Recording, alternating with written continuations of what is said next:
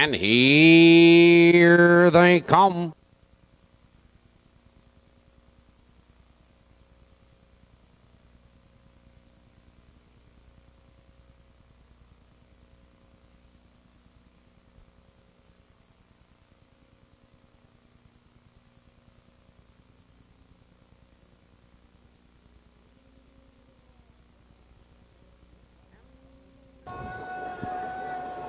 And.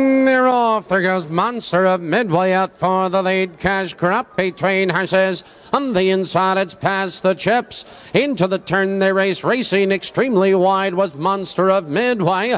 There goes past the chips. Charging through on the inside, but Cash Crop, he's up on the outside. Cash Crop now to take command, but Monster of Midway moves right with him on the outside, followed by Tiffany, Aaron, Lalo, Noru. It's Webster, BP, Parkay, and your leader by the quarter. From the outside is Monster of Midway.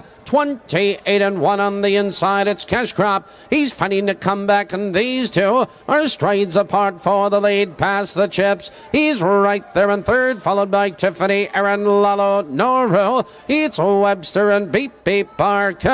They're driving by the half mile marker. Here comes Monster of Midway. Monster of Midway now has the lead. They're halfway home. 57 seconds flat. Monster of Midway maintains the lead of a length and a quarter. Cash Crop in second. It's past the chips in third. Here comes Tiffany Aaron with cover. It's Lalo Noru. It's Webster and Beep Beep RK trails the field. Now they curve into the backstretch. Monster of Midway has the lead, but past the chips. He's under the whip on the outside. It's Cash Crop in third. Tiffany Aaron. Here comes Webster, three wide. They're by the three quarters, 127 flat.